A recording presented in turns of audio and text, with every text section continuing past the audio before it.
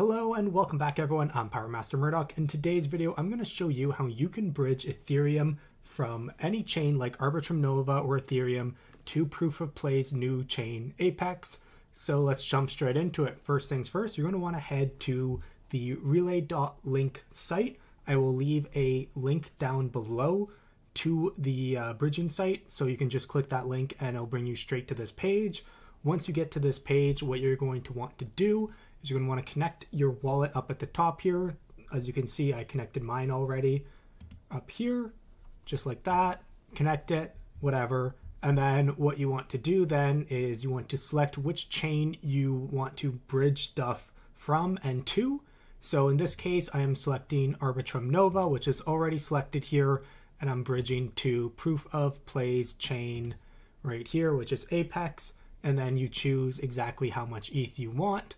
So I'm just going to hit max, take off those two just so I have a little bit of ETH left on Arbitrum Nova. And then you hit bridge and then MetaMask will pop up. I just have it off so you guys don't see that. And then you just have to do the confirmation sign. Then you guys just do the confirmation sign and confirm it, and it'll bridge right over. You can see it's validating just like this, and it takes just a few seconds. And just like that, the bridging is already done. It is extremely fast and really, really awesome. And you can even choose like Ethereum, and you can put it to Arbitrum Nova or Arbitrum.